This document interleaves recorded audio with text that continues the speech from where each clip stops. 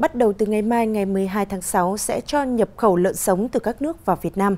Trong đó Thái Lan là quốc gia đầu tiên Việt Nam nhập khẩu lợn sống. Trong ngày mai sẽ có khoảng 5 triệu con lợn sống được nhập khẩu từ Thái Lan về để giết mổ, đáp ứng nhu cầu thực phẩm, bình ổn giá thịt lợn trong nước theo chỉ đạo của Thủ tướng Chính phủ. Đó là thông tin được đưa ra trong buổi gặp gỡ các cơ quan thông tấn báo chí diễn ra cuối giờ chiều nay do Bộ Nông nghiệp và Phát triển Nông thôn tổ chức.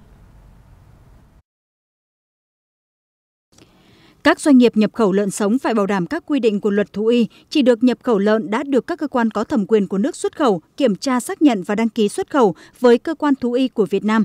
Các doanh nghiệp nhập khẩu phải có xe vận chuyển chuyên dụng, bảo đảm đầy đủ các yêu cầu tiêu chuẩn vệ sinh thú y, đồng thời phải có cơ sở nuôi cách ly kiểm dịch ở Việt Nam đáp ứng được mọi yêu cầu theo quy định, kiểm tra, xét nghiệm các chỉ tiêu theo quy định kiểm dịch trước khi đưa lợn sống nhập khẩu đi giết mổ. Sau khi lấy mẫu âm tính là đưa đi giết mổ ngay. À, hoặc là tiêu thụ. Loại thứ hai là loại nhỏ 10 đến 30 cân để tiếp tục nuôi. Và cái giá cả thì theo thông tin ban đầu chúng tôi được biết là chắc chắn lợn nhập về sẽ giá thấp hơn giá trong nước. Và để đảm bảo được cái giá thịt lợn ở trong nước ở cái mức độ mà đảm bảo được lợi ích của người chăn nuôi, người phân phối và người tiêu dùng.